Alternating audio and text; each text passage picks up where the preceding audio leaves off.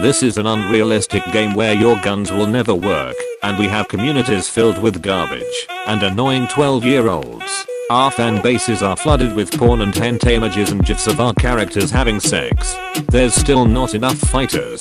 We will need our community to make stupid requests for more fighters. Behold, the first ever battle royale game. This is a game where lag is unrealistic, and it occurs, even though you have a good graphics card. This game is more like a toxic community which gets triggered whenever you mess up. This innocent kid friendly game is disguised to be a shooter version of Dark Souls. If you buy this game, you will regret it instantly. This game is more like a dating site and a community full of pranks and scams, and they also want your money. This game has gotten less scarier every sequel.